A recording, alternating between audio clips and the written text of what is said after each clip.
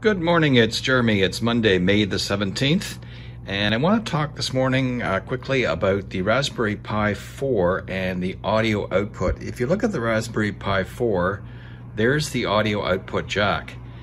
Now, the problem with the jack is that I've got a schematic here. It's uh, a four connector jack. It's a TRRS type of jack.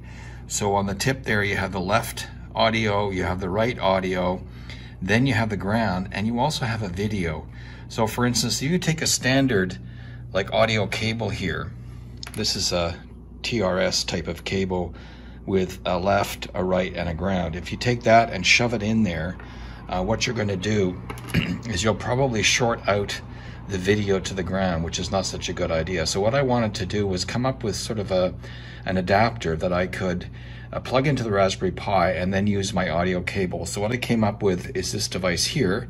So this is a TRS, uh, left, right, and ground jack, and this is a four conductor TRRS type of plug. Now, if you can get these, um, get the plug without the cable. What I did is I got a cable with a TRSS plug on either end. I just cut it halfway. Um, I'll talk about the wires in a minute, but if you can just get the plug, uh, get the plug, and then you can get some TRS type of jacks. I got a package of four here. I got them on eBay. They weren't expensive. I think five dollars for for four of them, and, the cable wasn't expensive either. It was about four or five bucks as well. Um, the tr the trouble is um, when you're um, working with a cable. I used uh, wire cutters here uh, to remove the white insulation, which comes off fairly easily. You have to be careful not to score it too deeply, otherwise you'll cut the wires inside. The trouble is the wires inside, there's four wires.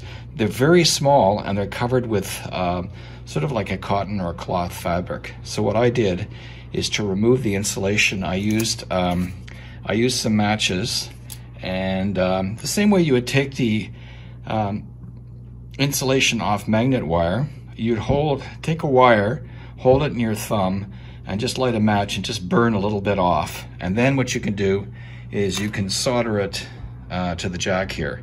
So the ground goes on there. The copper colored uh, connector there is for the uh, ring, uh, and that's for the tip. So then you can make an adapter cable like that.